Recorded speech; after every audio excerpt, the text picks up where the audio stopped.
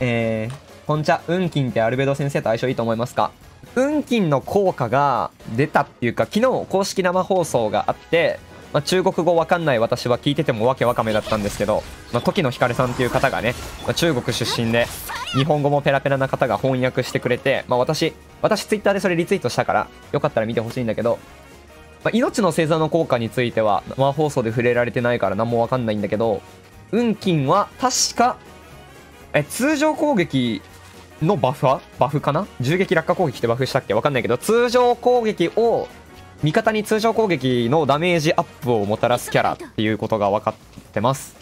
うーんどうなんすかね？いや面白そう。通常攻撃のダメージ上乗せっていうのはまああの何？勝利先生のこの贅沢な直線 HP の分だけダメージアップして上乗せするよとかここみ単語のみはここみの元素爆発状態で HP の分だけスキルと通常攻撃と銃撃と化けクラゲのダメージ上げるよっていうのと同じ部類だと思うから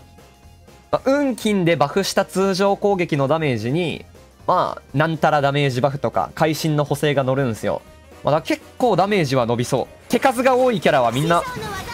合うと思う。手数型。うん、だから、何？チクチクチクチクチクチクって攻撃し続けるキャラクターは、みんな相性がいいかな。片手剣キャラと運金組み合わせたりとか、両手剣キャラとは相性は良くなさそうだ。うん。まあなんかレザーくんとかのっそりのっそりのっそりだし、まあ、両手剣キャラ全般はわかんないけど、まあ手数が多いやりキャラ、勝利先生とかね、5段目の通常攻撃が物理型勝利ってこの間配信でやったけど、この5段目のぐるぐるぐるぐるぐるとかに全部にダメージアップが乗ったりしたら